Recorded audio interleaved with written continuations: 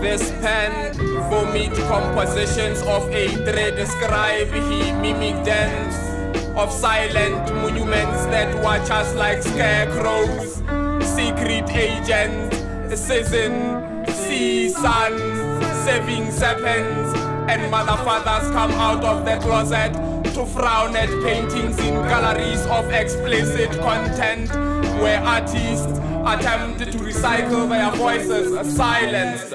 What's with this freedom of expression that some get insulted when art raise vexed questions?